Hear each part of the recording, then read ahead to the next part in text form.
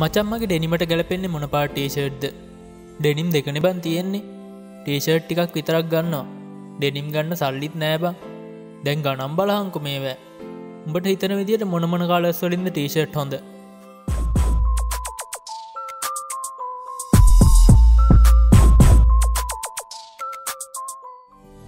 කොහොමද හරියටම කලස් මැච් කරන්නේ?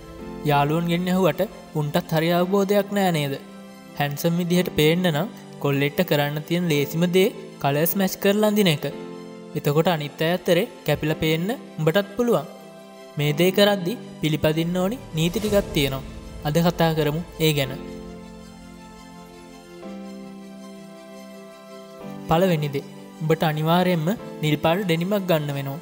මොකද නිල් ඩැනිමකට ඕනිම ටීෂර්ට් එක මැච් කරන්න පුළුවන්. රුපියල් තුන්හාරදාහකට ඩෙනිමක් ගත්තන උඹට අවුරුද් දෙක තුනා මේක කිසි අවුලක් නැතු අඳන්න පුළුවන්. දෙවනි එක.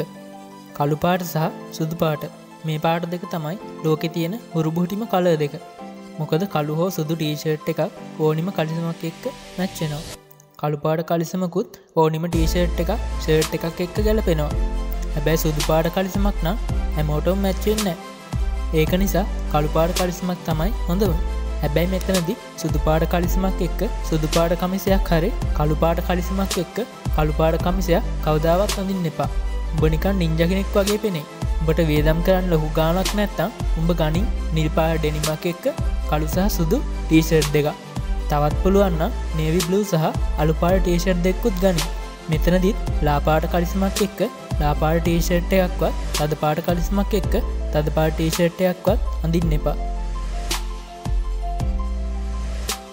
ඊළඟ කල එක තමයි දුබුරු පාට.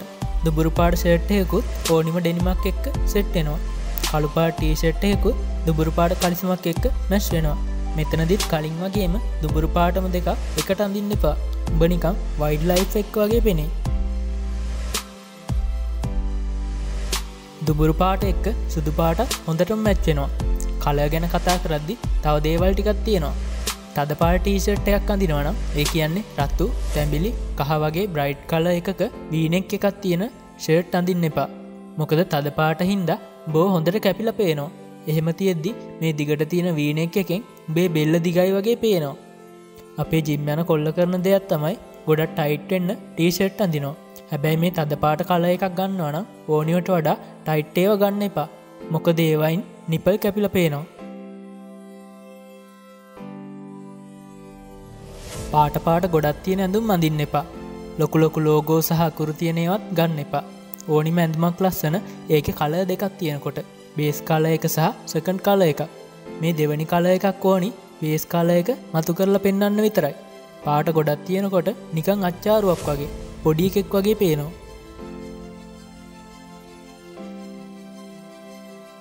කෙල්ලෙක්වුණත් කැමති තමන්ගේ කොල්ල ටිකක් වැඩුණුවකෙක් විදියට පේනවට. උඹ අන්දින පළඳින විදිහෙන් මිනිස්සුම්බෝ මනිනවා.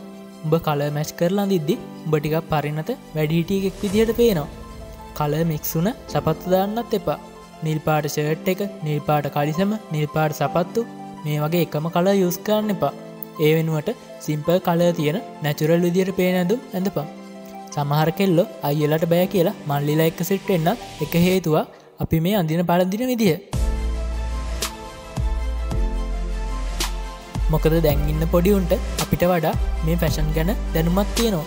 ඉතිං උඹළඟ මක්කරු යක්කු ලොකු ලොකු පාට පාට අකුරු එක එක ලෝගෝ තිය ඇඳුම් තියෙනවන තවදුරටත් ඒවා අඳිනවාද කියලා දෙපාරක් හිතපා කෙල්ලන්ට කලා එකක තියෙන පොඩි වෙනසත් හොඳර පේනවා. ඒකයි උන් එක්ක ශොපින් ගයාම බට සංසාර එපා වෙන්න.